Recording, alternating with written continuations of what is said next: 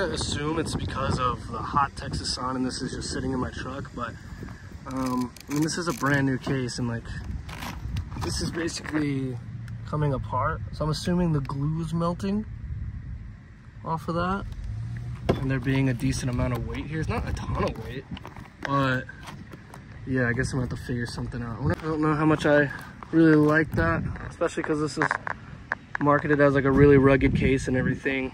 Relatively easy gig. This was supposed to be for two days. Uh, they ended up just doing it for one day, um, kind of at the last minute and stuff. So kind of sucks, cut my pay in half, but it is what it is. I always thought no matter what shoot I had, I was just gonna use the best camera I had. So once I bought the FX6, I was like, oh, I'm never gonna use the A7S III again. I'm just finding that not to be true. And honestly, it just makes sense. I used to always wonder why like other filmmakers would have like a red or an FX6 or something like crazy like that. And then they'd be off using like a Canon R6 or something. I'm just starting to realize like different tools for different situations. And for me, when I'm shooting documentaries or big events, like the FX6 will 100% be my go-to. But for stuff like this, when I'm shooting, you know, hour-long water polo games and it's just a highlight for somebody, like what's the point of pulling out the FX6? So that's why today's setup is just the Tamron 35 to 150. I've got the SmallRig battery to keep the battery life going, and that's it. There's nothing special. I have a plate.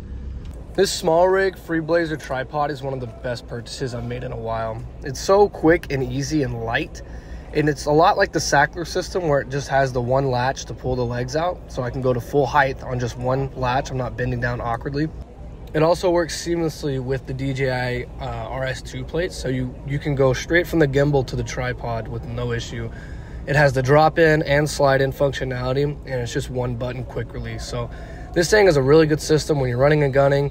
It also just feels super sturdy. I don't feel like this is gonna fall over at any point. I don't feel like my camera is not gonna be supported by the weight. I definitely think for an under $300 tripod, this thing is phenomenal. I'm also really loving this new Tamron lens I picked up. It's proving itself to be extremely versatile in a lot of scenarios. And paired with the smoothness of this tripod, I was able to get some very clean shots. And it made it super easy to quickly follow the ball. I could be zoomed in all the way to 150 and it would just still feel smooth. Here you can see I'm just kind of doing uh, some ball follow motions and I mean you can just see how smooth it is. It just it just works in this scenario. So I am loving this lens. I think it is one of the best purchases I've added to my kit and I couldn't be happier with with it. All in all, this was a very simple shoot. I just have to drop off the footage. They're going to do the editing and I was able to charge a half day rate for essentially about four or five hours worth of work. So it's always fun to get to do shoots like this because it does kind of challenge me a little bit. I've never done anything like this, and although it being a simple shoot, um, it was something new to me. And anytime I'm shooting something new, it always comes with its own level of anxiety and stress coming into it. Which leads me to the biggest thing I learned during this shoot, and that was to be prepared. I had just come off PAing for the past three days, drove to Houston, did all that. And so when I got home, I was lazy. I didn't uh, check the settings on my camera. I didn't check the batteries, make sure everything was charged.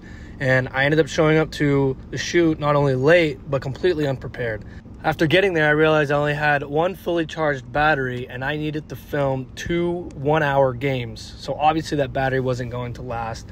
I had my SmallRig battery, but realized I left my cable case at home, leaving me with no USB C.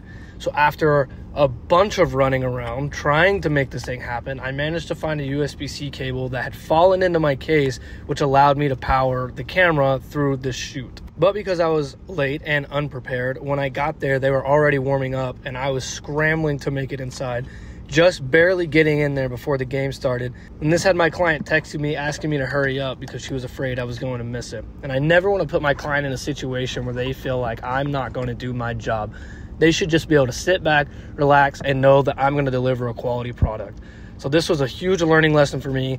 Thankfully, I recovered the shoot, and she was very, very cool with it at the end and very happy with the product I delivered. So I ran up to Home Depot and just got this Gorilla adhesive. Uh, it says it resists heat. This is like the strongest one they had apparently, so I'm gonna try and see if this will hold that, uh, that case up. yeah, it's like straight up just not even holding anymore at all.